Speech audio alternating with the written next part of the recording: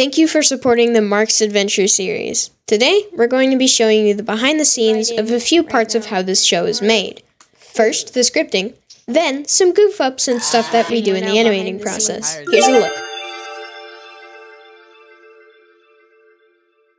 Writing episode 2.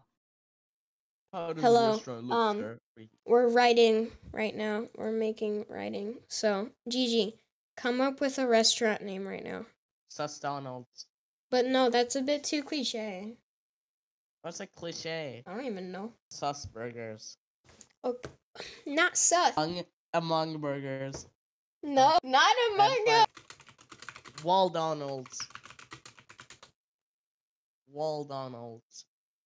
They're known for their great walls. Me look- Look around again. Oh, smart food. Smart food.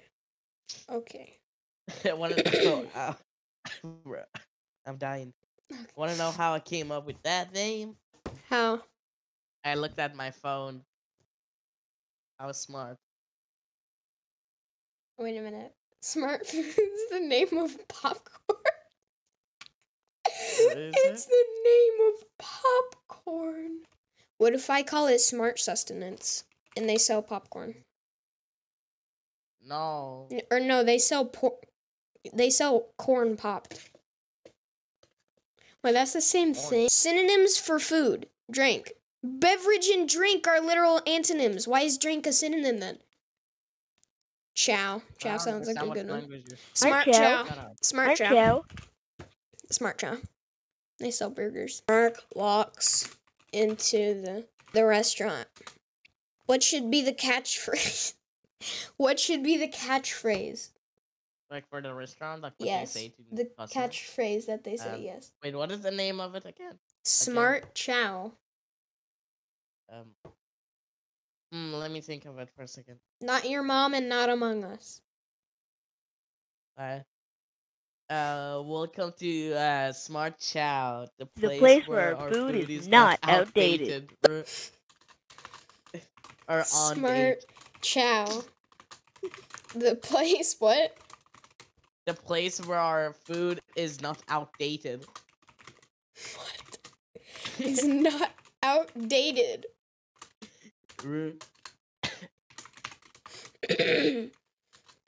but but this place this looks like an 80s diner.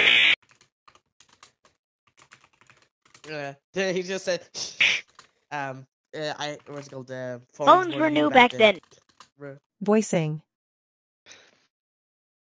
Okay, honestly, I read through all of this and I'm just like, how do you want me to say like the last line of Flint? How am I supposed to pronounce that? Are we going? How are we going to do like the intervals? Um, we'll do it every section, like this, and this. Like every time there's a. No, what I'm saying is, like, there's the Flint line and then there's the Mark line. I'm saying like Flint says "ga," Mark. Then what's the interval between that? Like, We say it like we're in a real conversation. okay, Testing, testing. One, two, three. My name is Mark. Hello, my name is Mark. Testing, testing. Okay. wait, what type of voice do you want for this? I forgot to ask that. Um, preferably like um, you know, like a deep voice that's like you Mm. know, Okay. be like imagine a person named Flint, and how they would sound. McGuire. McGuire. Yeah, that's perfect. Ah, Flint McGuire. Flint Alright, McGuire. okay. Three, two, one. Ah!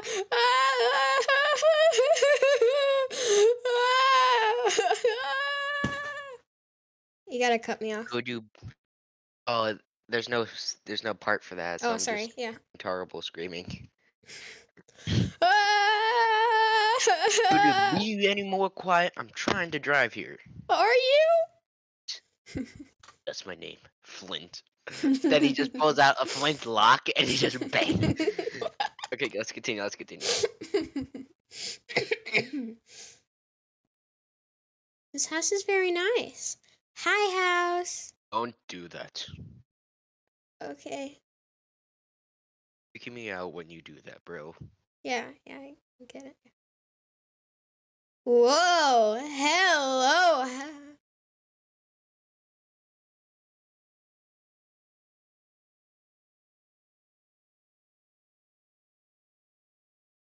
Okay, next section. Now, if you're Go ahead. unexperienced, like I was, you would think that you could set some crazy early deadline and animate it as fast as you could, like super duper fast, which really did happen with episode 1, but episode 2, with all of its car scenes and sound effects that we had to implement, it just wasn't enough time. Which is why we had to cut a lot of the content that we had originally planned, like the part where it had cool music, like just shown. And I imagined it in my head with amazing lighting, amazing graphics, an orange table, a fully colored everything, grass outside, but you know, a lot of it either didn't make sense or was going to be way too hard to animate.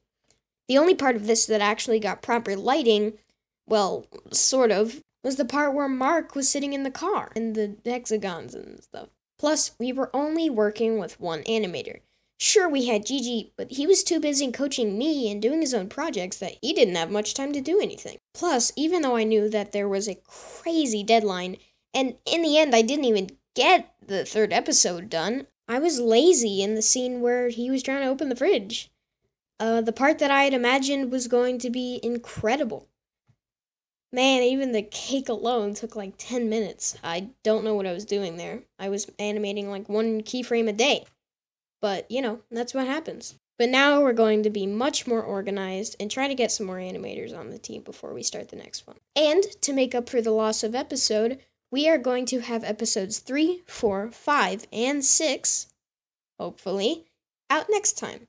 Now you may be thinking, make the whole series and then upload it, you stupid being! Well, it's not that simple. Plus, I would just make it a movie at that point. I mean, you know, why not? But, you know, it's the whole thing of, you know, you want clicks, you want to build up attention. It's a whole thing. But I've been building up for way too long. You want to see the funniness of me and Gigi working together, being our goofy selves, doing what we normally do, animating. Let's give you that. Animating. Alright, I'm recording. We're now behind the Yeah, scenes. but tire just being flat. Bro. So the episode's still not finished yet. So happened? Car's tired. Car's tire. Why is the car tired? Car's tired. I like how they just got, uh, somebody Car's threw a grenade at him and they're just Car's perfectly tired. fine.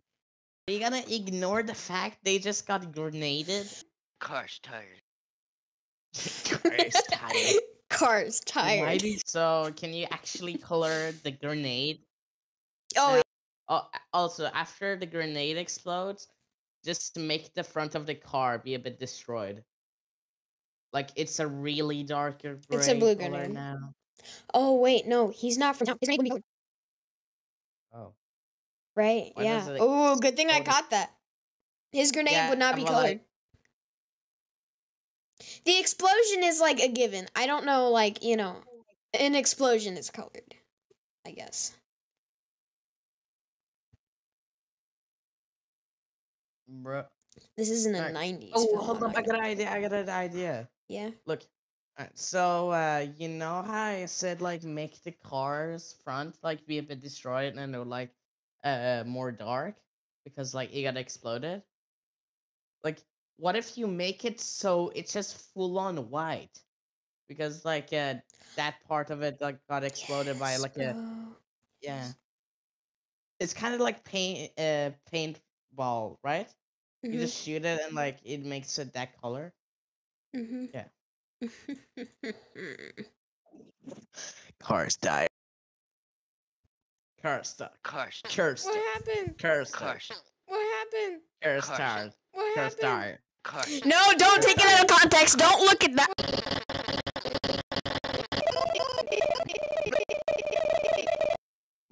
Mark Haven. What's called? Um, Mark's Adventure, but it's reversed. 10 out of 10 video idea right there.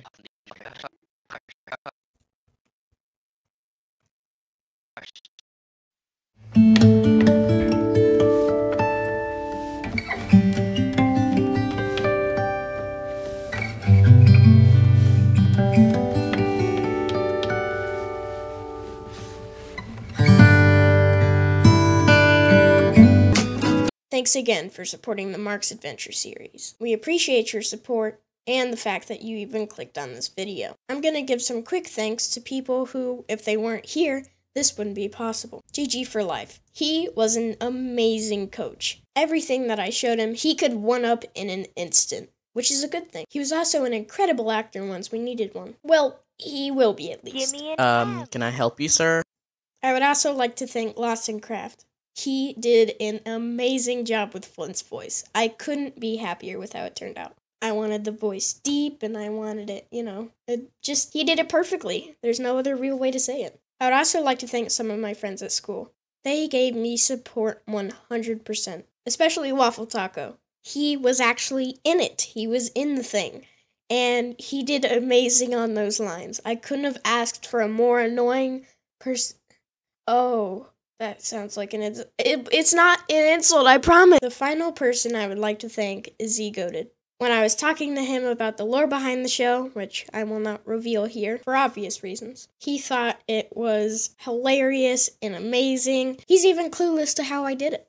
Now, once people actually start figuring out the lore to the show, and it's correct, of course, I will actually explain it in full and why I made some things and why some things aren't actually lore, they're just mistakes. Um, there's just there's a lot of things that I have to tell you guys, but I want you guys to figure it out first. That's the whole point of me putting it in here. So I hope you enjoyed this behind the scenes. Leave a like if you want to. Please do subscribe because we have more episodes coming. Goodbye.